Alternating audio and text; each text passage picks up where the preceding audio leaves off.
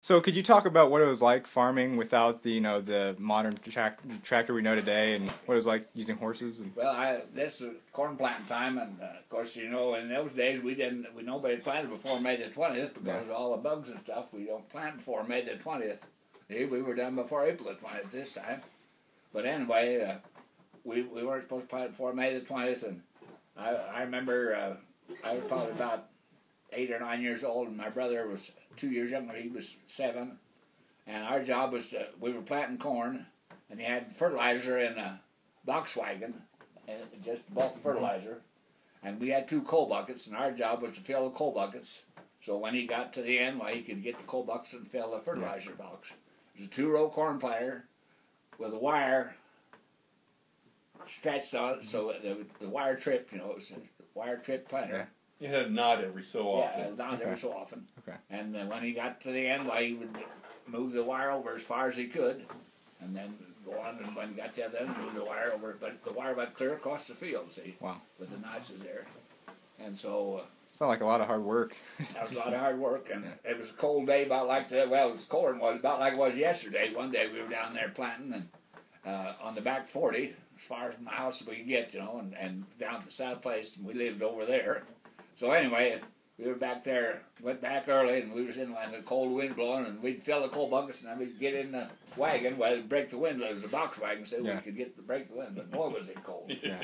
And of course, at noon, while we went went home to dinner, and uh, took the horses up to the barn, let rest them. And then he had another pair of horses, another team of horses he brought back in the afternoon to put on the planter so that they could. So we planted all Switching day then Yeah. till about about four o'clock. My name's Eric Miller. I'm 17. This farm's been in my family for over 100 years. Uh, I'm Spencer Sage. I'm 19 years old. I work out here on the farm, and uh, it's not very easy. It's been the family for three generations, and uh, plan on taking it over after college. I'm Tyler Young, 19. This farm's been in my family for four generations. Prices are uh, going down, and fuel's going up, and it's just uh, it's getting really hard to uh, make a dollar out there. About everybody I know has got a second job to help support That's the farm. About two years ago, I moved away for about three months. Being away from the farm just killed me. I had to come back. It's the only thing I know and love.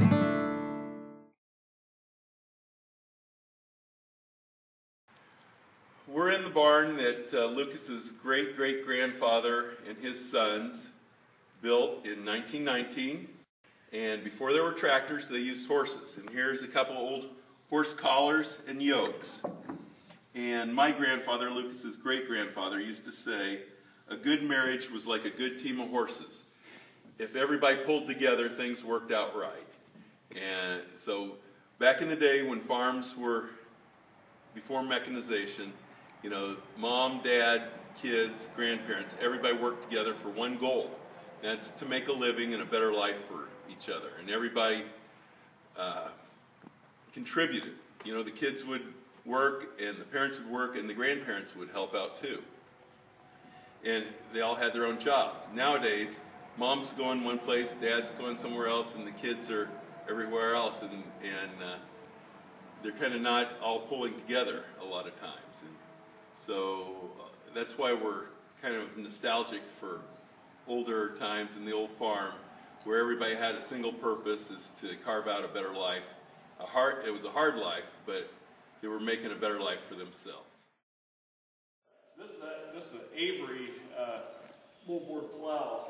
Uh, don't know what year it's from. Probably from the mid to late 30s. Uh, it's a two bottom, so it would have been well suited for like a an F20 or something in the 30 to 40 horsepower side. This is a 37, 1937 Farmall F20, uh, the first really row crop tractor that Farmall or the International Harvester made. Uh, it was designed for doing cultivation work, and you could also plow with it. Uh, so it was just sort of more or less the the all-purpose tractor. Uh, any 80 acre farmer, 80, 80 to 120, 130 acre farmer could pretty much farm their farm with this tractor and do anything they wanted to with it. Now, my dad said guys used to be uh, able to break their arms doing this if it kicked back. Yeah, yeah, you've got to have them tuned in pretty well. Are you, are, you're not going to break your arm here, are you? I hope not. I haven't so far. Of course, now that I've got an audience, it won't start.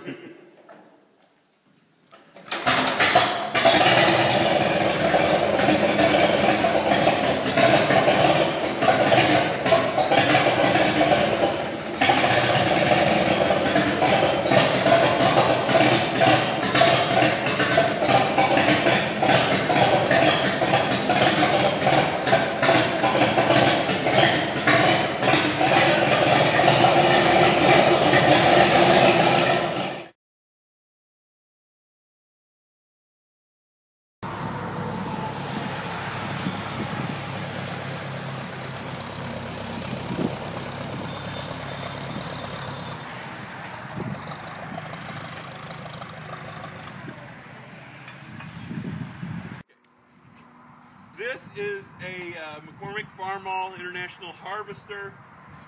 M, the, the M is the model size, and TA is a uh, variation of it. It's a torque amplifier, which is in the uh, gear shifting. It gives it a like a half speed go faster or slower. Super MTA. My grandpa, my grandfather, Lucas's great grandfather, bought this tractor brand new in 1953.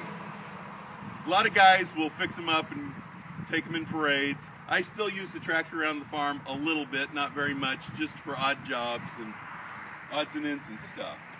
This was in 1950s, in the late 40s and early 50s and all through the 50s. These were extremely common tractors, probably the most popular tractor on farms back then. There, there's no power steering, so it's a little hard to steer. No power brakes or anything.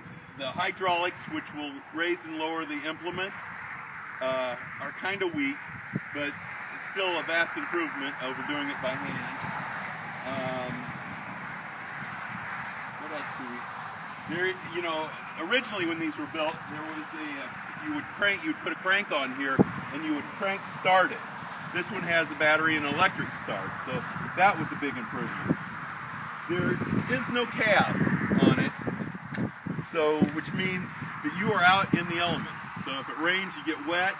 When the dust is blowing, you are eating dirt all day. This is an International 656 tractor. It uh, came along in the uh, late 60s and early 70s. It is kind of one of the transition tractors in between the M series tractor that I showed you and then the uh, 1086 series tractor where they started putting cabs and, and uh, bigger tractors.